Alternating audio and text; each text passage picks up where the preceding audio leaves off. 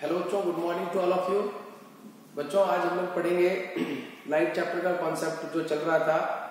उसमें mirror formula के बारे में पढ़ेंगे। ऑलरेडी हमने सिक्स केसेस कंप्लीट कर लिया। तो इससे आगे की पढ़ाई जो होगी, वो मिरर फार्मूला से आगे बढ़ेंगे। So let us write down heading mirror formula बच्चों मिरर फार्मूला क्या होता है?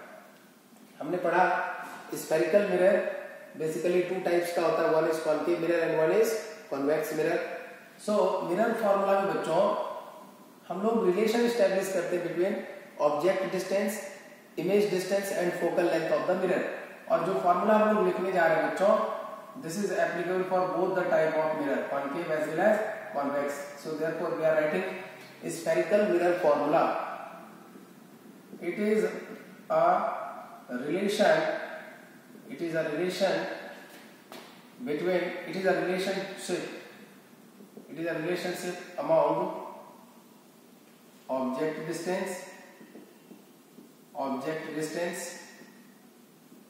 u image distance image distance v and focal length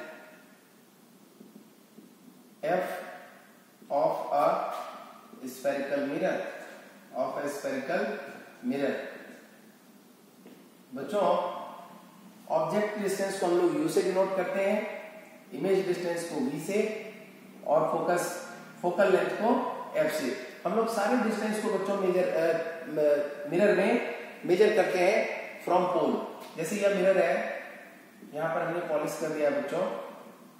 तो ये जो पोल है, सारा डिस्टेंस हम लोग कहाँ से मेजर करेंगे?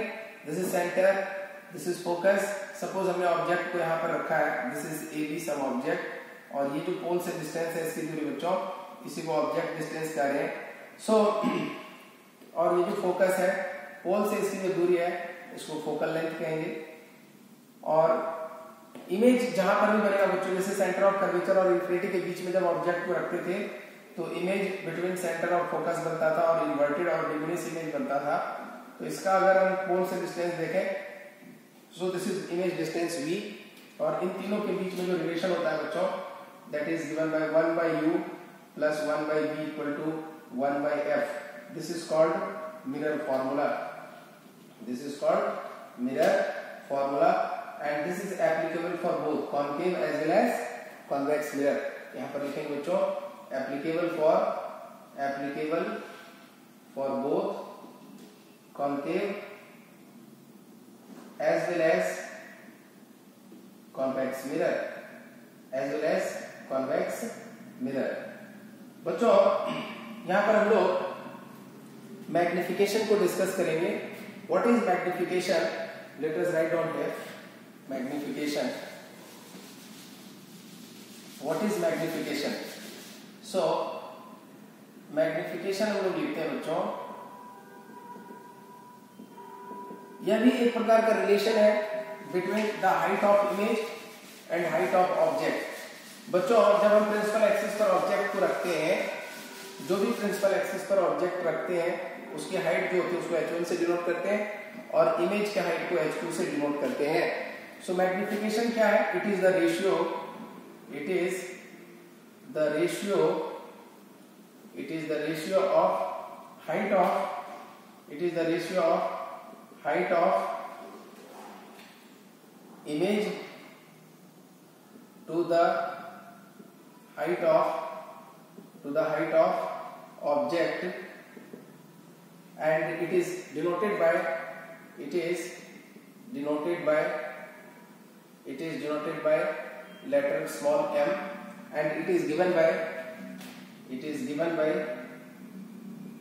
it is given by m equal to height of image upon height of object this is height of image upon height of object height of object so this is how we are giving magnification बच्चों अगर यहाँ पर formula लिखे magnification के लिए so how it will be यहाँ से देख सकते हैं so magnification m is equal to height of image को हम लोग बच्चों h2 से डिनोट करते हैं।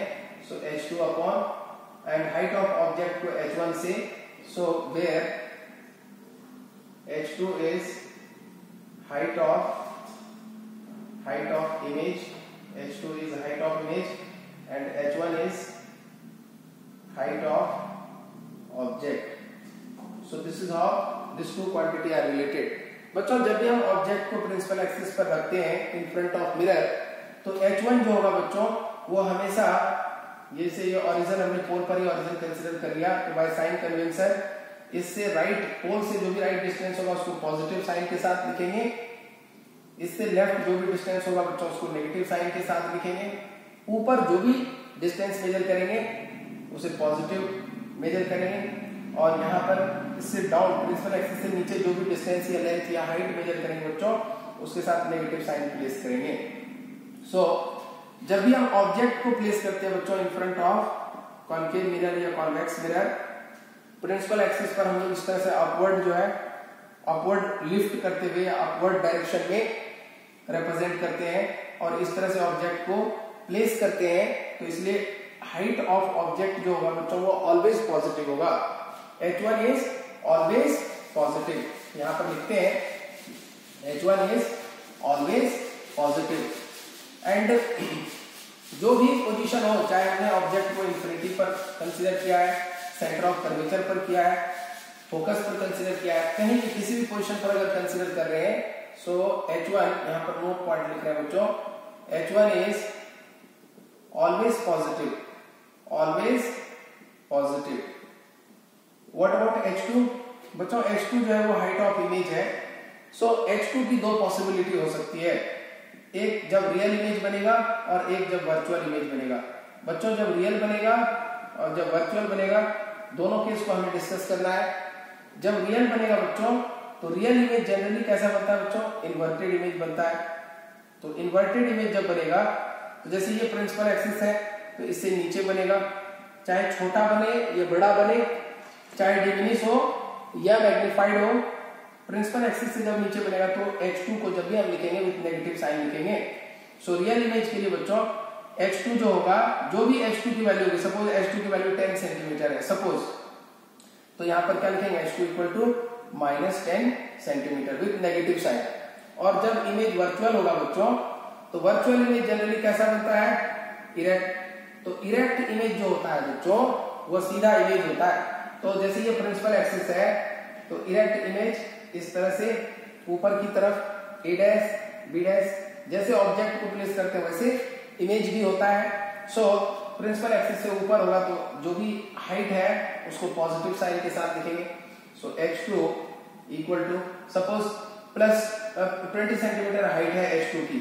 एच टू की वैल्यू ट्वेंटी सेंटीमीटर है तो इसे कैसे लिखेंगे? H two equal to plus twenty centimetre so this is how we are going to write the value of H2. So, there are two possibility for H2 but H1 is always positive. बच्चों magnification का जो formula होता है, एक और formula होता है जो हमने यहाँ पर लर्न किया in addition to that magnification of mirror की बात कर रहे हैं so this is denoted by small m it is also given by the ratio of negative sign of ratio of image distance to the object distance so it is given by it is given by the ratio of it is given by the ratio of height of the ratio of it is given by the ratio of negative sign of the ratio it is given by the ratio of image distance image distance to the object distance with negative sign. With negative sign. With negative sign. और यहाँ पर mathematical expression लिख रहे हैं बच्चों। M is given by minus sign यहाँ पर place कर देंगे। And this is image distance this is object distance so V by U where v is where v is image distance और कहाँ से डिस्टेंस मेजर किया बच्चों? पोल से image distance from pole and U is what object distance from pole object distance distance from pole so इस तरह से बच्चों, यहाँ पर हम लोग मैग्निफिकेशन का एक और फॉर्मूला लिख रहे हैं। M equal to minus of V by U अगर हम दोनों फॉर्मूला में रिलेशन स्टेब्लिश करें so relation between this two formula for magnification we know m is equal to h2 upon h1 and that is m is also equal to minus v by u ये दोनों को equate कर देते हैं so m equal to h2 upon h1 equal to minus v by u so we can write h2 by h1 equal to minus v by u this is again very very important formula vbi you must keep in your mind. बच्चों, इसके बाद problems करेंगे हम लोग। इसी concept को mirror formula को भी यूज़ करेंगे मैग्निफिकेशन के भी कॉन्सेप्ट को यूज़ करेंगे और वेराइटी ऑफ़ प्रॉब्लम्स बहुत सारे प्रॉब्लम्स को करेंगे। तो आप इसे अच्छे से पहले लर्न करिए और अपनी कॉपी में इसको अच्छे से लिखिए। और अगले वीडियो में हम लोग प्रॉब्लम सॉल्व करेंगे बेस्ड ऑन दिस कॉन्सेप्ट इस वीडियो में इतना है। मिलते हैं अगले वीडियो में। Thank you